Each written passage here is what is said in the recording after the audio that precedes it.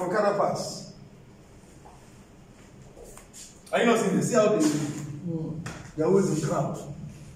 Okada Pass will provide cover for personal accident to the insured Okada riders. This product will be sold as an individual, will be sold as an individual policy and as a group. So the same way you sell the keke, you can sell this one. You can sell to individual Okada riders or you go to the associations and you can sell.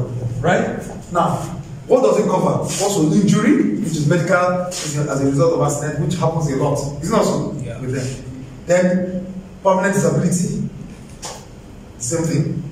That if the person dies, it covers that.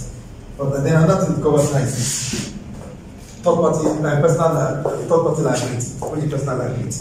It's not so. Now, if you notice,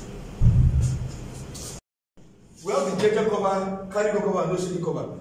The premium here is two thousand. Now, what does it cover? It covers medical expenses up to fifty thousand, and then permanent disability one hundred and fifty thousand, death one hundred and fifty thousand, and then third party liability fifty thousand.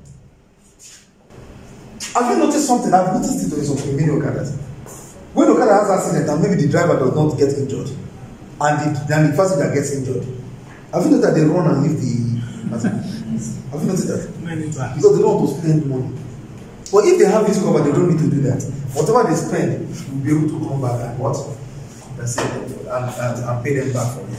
So that's what it costs. So it depends. So we have one of two four and one of two eight. They're not expensive. At for two eight, you get seventy thousand medical benefit, permanent disability two fifty, death two fifty, and then third party liability fifty thousand. One year. Yes, for one year, yes. You can see it's a fantastic, uh, it's a fantastic product. So, with this, I come to the end of. Uh,